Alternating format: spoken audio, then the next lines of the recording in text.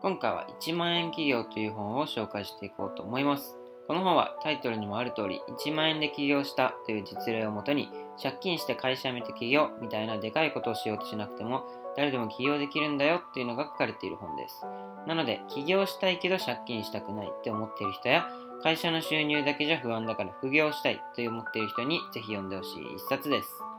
この本はマイクロビジネスをやっている人を取材、調査して作られたのですが、その対象者を初期資金は1から10万円、年間の収益は500万円以上、資格や特別な技能は必要としない、ごく少人数、自分1人もしくは数人の場合がほとんど、という4つの条件のもと選び紹介しています。文字通り誰でもできる設定となっています。本書に書かれていることを引用すると、数年前であれば大企業ですら莫大な広告費がかかった上、必ずしも成功したわけではなかった。それが今や世界中の人に応援してもらえるようなビジネスをあなた一人で作り出すことができる。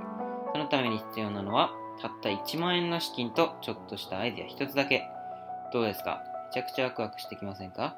?1 万円とアイデア一つでビジネスができてしまうって恐ろしい時代ですね。そんなマイクロビジネス、じゃあ成功者はどんなことやってるのっていうのを一部紹介していきます。1、1200万円稼いだ電子書籍。ソフトウェア開発者として働くブラッド・ケリーさんは、忙しい仕事とストレスの多い家庭生活を抱えていた。150万円のクレジットカードの負債と南カリフォルニアの高い物価のせいで、ブラッドとその妻はすれ違いで仕事に出なければいけなかった。二人ともいつも疲れ切っていて、子供たちも不機嫌だった。ブラッドは何年も友人や同僚が事業を始め、利益が上がるのを横から眺めていた。そんなある日、ブラッドもアイディアを思いついた。これと無料メモ管理ソフトである Evernote のヘビーユーザーだったのだが、この詳しいサービスのマニュアルがないことに気がついた。そこで自分で発見した使い方のコツをまとめた PDF ファイルを販売。たった7日で100万円を売り上げ、年間収入は1200万円にもなると予想された。その後、ブレッドは自宅で仕事をできるようになり、妻は専業主婦になった。子供たちと過ごす時間も長くなり、文字通り自由を手にした。2、リスクゼロ、コストゼロ。ネバダ州に住むミニョン・フォガーティさんも英文法をわかりやすく解説するポッドキャストチャンネルを作り一躍有名になった。ポッドキャストのチャンネルは無料で作れるためコストゼロ。リスク、コストなしでビジネスを成功させた一例と言えるでしょう。3、趣味から本業を超える年収750万円に。大学の研究センターで最高財務責任者を務めるゲイリー・レフは旅行好きのため年に何度も海外旅行をしている。そんなゲイリーは、ファーストクラスの世界旅行をエコノミークラスの料金で楽しめるような裏技をいくつも発見した。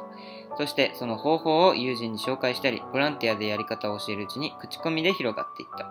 結果、依頼が殺到したので、ビジネスで成立するのではないかと思い、今では年間750万円を売り上げる副業になっているそう。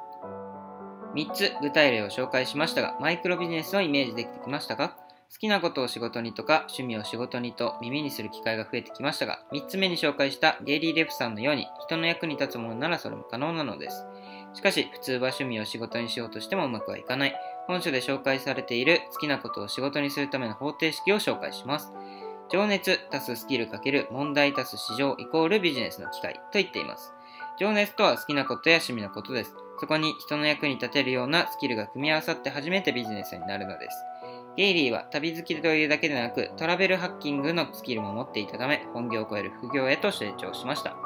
結論を言うと好きなことを仕事にしたいならシンプルに人の役に立つことをすること。スキルが必要ならそのスキルを磨くこと。計画ばかり立てていないでビジネスを形にして小さく改善していく。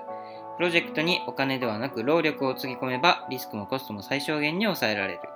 これが本書で紹介されていた王道の方法です。今やたった1万円でもいろいろ試せる時代になったし、スキルを身につけるための手段も多様化してきました。幸せな人生を手に入れるために、ぜひ本書を活用してみてください。